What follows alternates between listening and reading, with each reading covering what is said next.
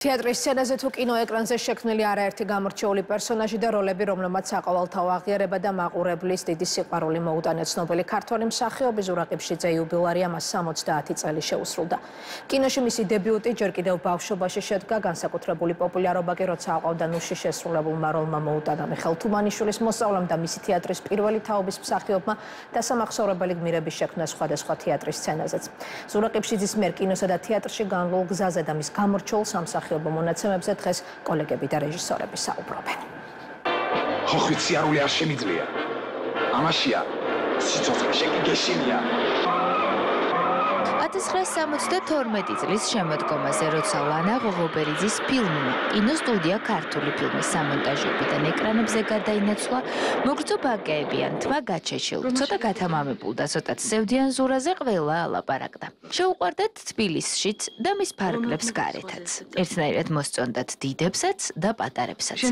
ამბობდნენ, რომ ამ წელს საქართველოსში საკულტო მსახიობის პატივსაცემად ზურა არაერთ ბავშვს დაარქვეს. ათუნა ათუნა მართლა გინდა რომ წამოვიდე? მინდა.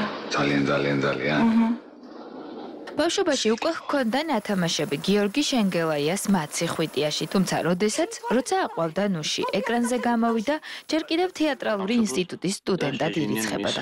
რადგან სტუდენტს სწავლის დასრულებამდე კინოში მონაწილეობა ეკრძალებოდა, პრობლემები შეექმნება სწავლის გაგრძელება მოსკოვში, საკავშირო კინემატოგრაფიის ინსტიტუტში განაგრძო. სამშობლოსგან შორს, ბევრი წარმატების მიუხედავად, დიდხანს არ დარჩენილა და თბილისში სწავლის დასრულებისთანავე დაბრუნდა.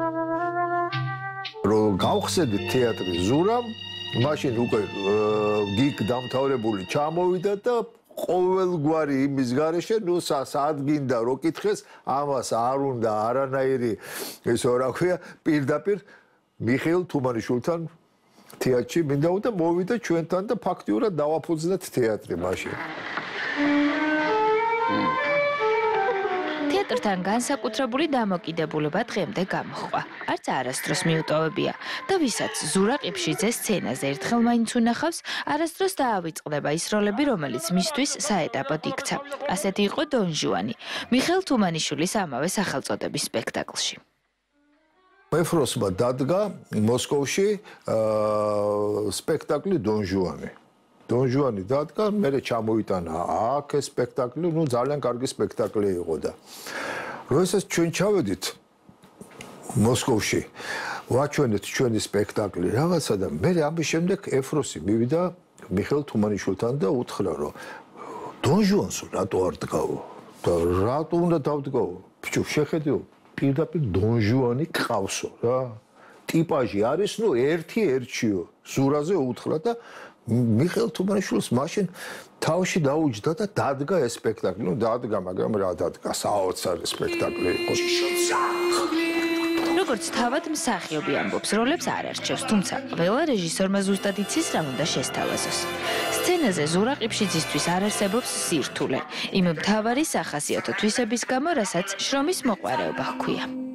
მეფელირზე მუშაობის დროს და შემდეგ უკვე სპექტაკლების დროს არათუ მაყურებელს თვითონ მსახიობებს და ხანდახან მეც ხანდახან მგონია რომ მორჩა ახლა ისე ცუდად გახდა ამ სცენის დროს ან მისი ემოციური მდგომარეობა ისეთია რომ ალბათ ჩაიშალა სპექტაკლს ვეღარ გავაგრძელებთ. სპექტაკლი გრძელდება 3 საათი და 20 წუთი და რო გონია ყოველას მათ შორის მაყურებელსაც რომელიც მას იტირა უკვე ბევრჯერ ატირა ეს მაყურებელი და მე ტაში ბრალ როგონია რომ ნუ ეხა ალბათ ზურას ხელში აყვანილს აიყვანენ თალში იმდენად დაღლილი და უენერგიო იქნება. რო ახვალ საგრიმეოროში ენერგიულად ყვება რაღაცა ისტორიას ან ფეხბურთზე ლაპარაკობს გაბრაზებული ან რაღაცა სასაცილო ისტორიას ყვება 70-მდე ფილმში ითამაშა. როგორც თავად ამბობს მათგან მხოლოდ სამი მოსწონს. უფრო სწორად საკუთარ თავს ანტონ ბურცელაძის მაცი ხვიტიაში გოდერძი ჩოხელის სოდიშვილებში და ზაზა ურუშაძის სამ სახლში იწონებს. ისტორიის თავგერმა ბატონო, შემოგვაშორეს ჩვენი ეს პატარა ქალაქი ცხოვრების არტერი. მის შემოქმედებაში ერთმანეთისგან განსხვავებული ბევრი საკულტო როლია, თუნდაც არჩილ გამრეკელის ეს მონოლოგი, მიშა თუმანიშვილის ჩვენს პატარა ქალაქში. იმდენი იქნეს, ბატონო, იმდენი, სანამ უმნიშვნელო დასახლება პროვინციათან გადააქცია. აუცილებელი აღნიშნოთ ჩვენი პატარა ქალაქის აი ერთი ეპიზოდია, რომელიც აი ვიხსენ ერთი რამდენიმე 20 წუთიანი, 25 წუთიანი, ნახევარ საათიანი მონოლოგია, ну საოცრება დღესაც და მაშინ ეხა უფრო მიკვირს, იმიტომ რომ ეხა მოუწია იმ ასაკშია, ეხა უკვე 70 წელიწადია, როცა სწორედ ის როლი უნდა ასე ვთქვათ ის პერსონაჟი გაეცოცხლება. მაშინ ძალიან ახალგაზრდა იყო, როდესაც აი ეს შეძრა იმ ადამიანს. საერთოდ ეს თვისება აქვს, რომ მე მინდა თქვა, რომ ეს საოცარი თვისება აქვს, თუ მოირგო პერსონაჟი, ანუ აი ეს პიესის ლიტერატურული პერსონაჟი, აი თითქოს გადადის იმ პერსონაჟში. ზურა ყიფშიძეს 10 აგვისტოს 70 წელი შეუსრულდა.